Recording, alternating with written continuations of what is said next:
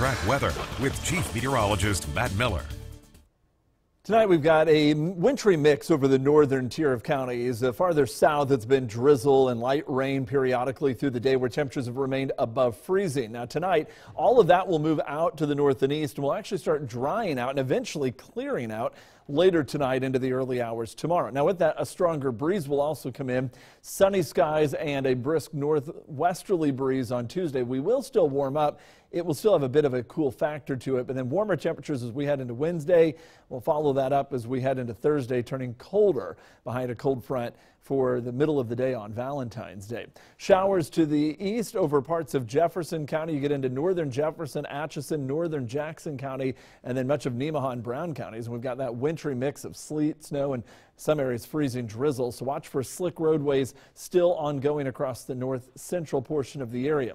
There's a look at Mayetta. Cloudy skies, uh, cloudy in the Emporia area. See a little bit of just kind of that uh, low cloud cover and uh, just hanging around. It's been kind of that low to the ground cloud, some drizzle every now and then falling. Uh, Manhattan as well as in Topeka, reduced visibility as well with that drizzle. 34 degrees, northeast winds at 8 miles per hour. Temperatures are still above the freezing mark without an immediate threat of freezing and in the vicinity of I-70. Now, the farther north, especially toward US 36, that's the problem area. Temperatures have hovered right around 33 to 35, and with a decent amount of rain that fell today, for many of us, kind of lucked out that it wasn't worse than it could have been. Now, that is not the case up north.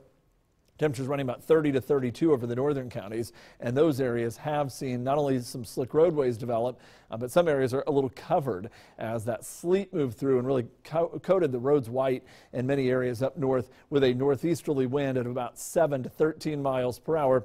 Temperatures, well, they feel like they're in the 20s or in the 30s. Uh, I should say the temperatures are in the 30s. It feels like it's in the 20s when you factor in that wind all the way southward in toward the Topeka, Manhattan, and Junction City areas. There's a look at that wintry precipitation, by far worse to the north and east, but enough that it is causing some problems over our northern counties. We'll continue to watch another system out west, currently making its way in toward the Pacific Northwest. That one will start heading our way, but it won't arrive until later in the week. So any light wintry mix north and northeast this evening pushes out, and we're left with a clearing sky for tonight, sunshine for tomorrow, and that sunshine will then carry over into Wednesday as well. We'll start to take another look at that next system coming in. Now we're heading into Thursday with a cloudy sky. The front approaches will actually start off mild, but then turn sharply colder through your Thursday.